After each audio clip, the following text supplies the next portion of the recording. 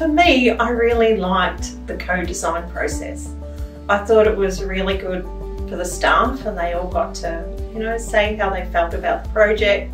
The most useful would have been the better pre-applications um, and the, the process timeline. So indicating to our community what our expectations are of them to help us to make a, a more efficient, better solution. And it was really good to engage with our key stakeholders in our own council and talk to, I guess, uh, staff members who aren't planners mm. and hear, uh, I guess, their ideas around what they think uh, planning processes are and what they should look like and how they should be involved. I thought that was really, um, really good in terms of building those relationships and hearing from them.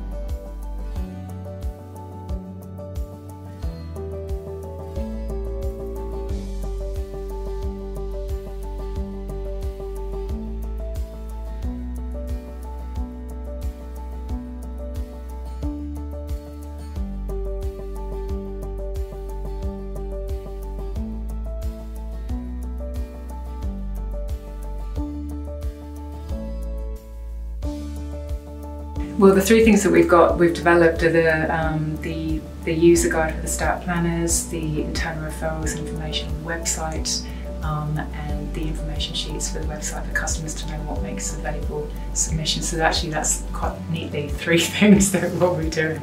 Yeah, first one is our public launch. So we're going to launch all our solutions early this year, hopefully in late March, and we hope to make that an annual event. The second one is our better um, pre-application guide. So we're already using that in terms of guiding new applicants on the information they need to submit with new, uh, new planning permit applications. And the third one will be our customer triage sheet that we're going to give to our customer service area, hopefully to make inquiries easy for them and to reduce some of our workload as well.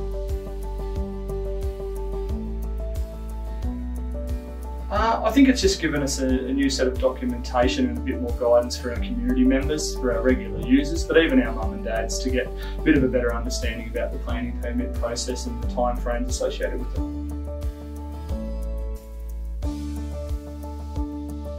This is just, it's just an amazing um, set of tools, an amazing set of people, an amazing projects to be part of yeah, it's been an absolute godsend working with everybody involved. Honestly, uh, we could never have done this on our own. We haven't got the time and resources to develop fact sheets. So having like an, a product that's 99% there and you just have to insert the word City of Yarra is just amazing. So yeah, I would say just grab it with both, grab the opportunity with both hands. If you have the opportunity, do it.